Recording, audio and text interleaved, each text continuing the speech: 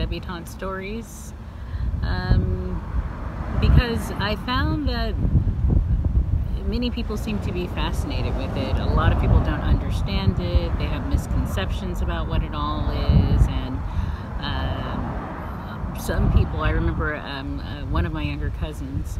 Uh, when I asked her what what was a debutante, she said something that rich white girls do, and she was stunned to find out that our family had a long history of participating in the the debutante um, ball and tradition. I mean, I'm thinking that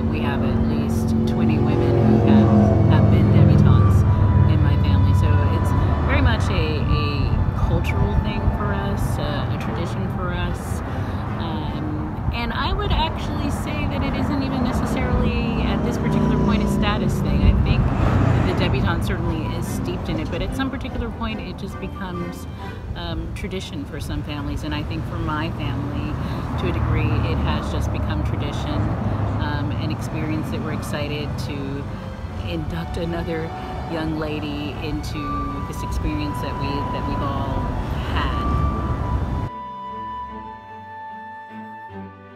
Um, it does have a certain level of it um, for some people. I mean, some people can clearly afford to be a part of this particular activity, and then there are others who are uh, struggling to be a part of an image.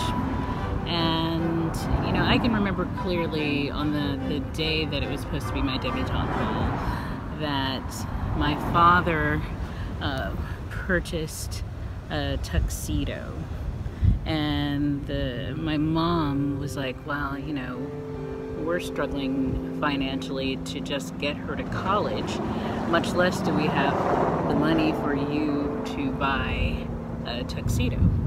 Well, his rationale was he's going to have a daughter who's going to be doing debutante function again. Clearly, we should buy it. You know, it was it was a it was a disagreement, and at the time, you know, my parents were going through some things, and and for me as an 18 year old, it was just painful. I couldn't wait to leave and, and, and just get on with the day. And still, I, I didn't I didn't have a picture. I didn't have a true image of what this was all about. I didn't understand um, what this whole event was. I, I went to rehearsals and I, I showed up, uh, but I didn't get the whole picture